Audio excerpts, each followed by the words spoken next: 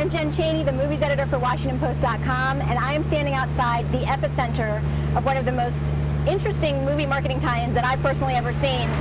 The 7-Eleven in Bladensburg, Maryland has become a Kwik-E-Mart. If you watch The Simpsons, you know what the Kwik-E-Mart is. It's the convenience store that Homer, Bart, Lisa frequent where Apu runs the show. They're selling pink donuts. They're selling boxes and boxes of Krusty-O's. They're selling Buzz Cola. It's a complete Simpsons transformation.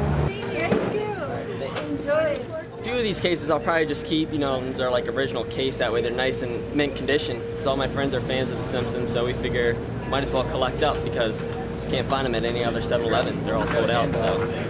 Oh, really? No, this is it. I manage the store and also own the store. When they approached me with the idea, I was happy because I was thinking that would be a good thing for the store. And the business actually doubled. Oh, filling up the Simpson characters. Homer Radio, Dancing Homer.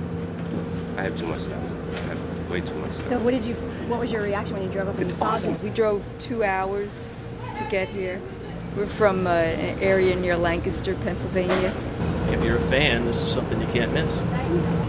The Bladensburg, Maryland 7-Eleven is not the only 7-Eleven that's become a Kwik-E-Mart. They have actually transformed a handful of these throughout the U.S. and also a location in Canada. But they only last through July 31st.